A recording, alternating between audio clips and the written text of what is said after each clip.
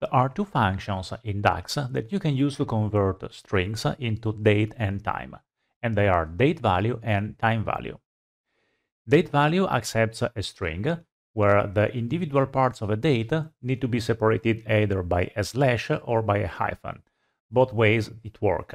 And you provide the month, the day, and then the year. The order of month and day depends on the international settings of uh, your machine. Time requires hours, minutes, and seconds. They can be separated by a colon or by a dot. And you can also use the optional AM PM modifier.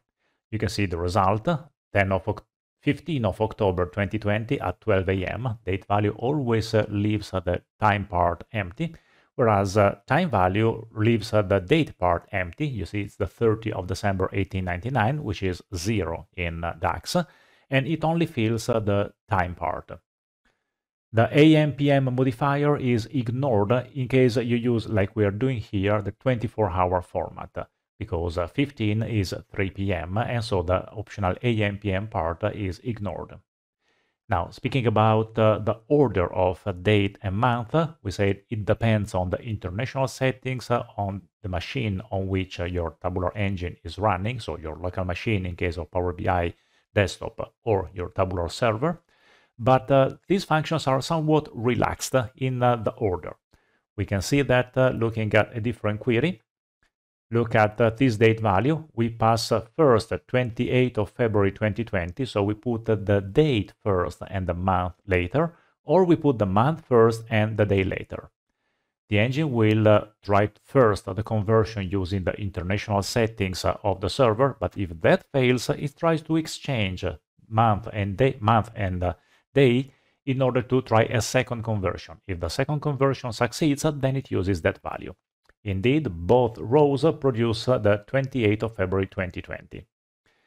An important detail is that if uh, there is ambiguity, like in this case, where it is not clear what is the date and what is the month, then the international settings of the machines are used.